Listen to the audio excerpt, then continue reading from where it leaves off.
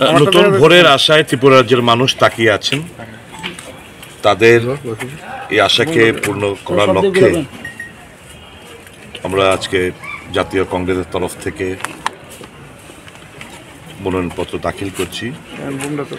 আমি ছয় আগরতলা বিধানসভা থেকে প্রতিনিধিত্ব আবার পুনরায় করছি।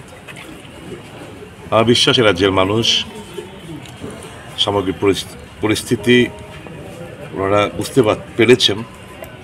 এবং সঠিক সিদ্ধান্ত আগামী ষোলোই ফেব্রুয়ারি ওনারা ভোট বাক্সের ইভিএমের মাধ্যমে তাদের সঠিক রায় প্রদান করবেন No, it's Seat sharing. it's it's the term and abbreviation that you it's, it's a seat sharing, not an alliance.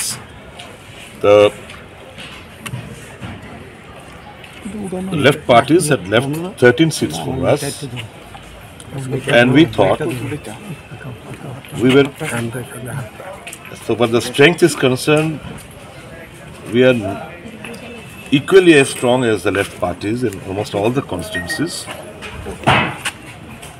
And we thought, and we sacrificed and thought that we should, uh, the ICC also took uh, stock of various inputs from various uh, agencies through our party workers, leaders, and various agencies that were deployed, and thought that Congress should fight in minimum 17 seats, for which we have uh, done so, and, and uh, the list has been announced by the ICC, and we are submitting our candidates accordingly. Uh, we believe we have got uh, 100% faith upon uh, the Election Commission of India and believe that, uh, uh, as was assured for a free and fair election, to exercise their franchise by the electors, it will be done in accordance.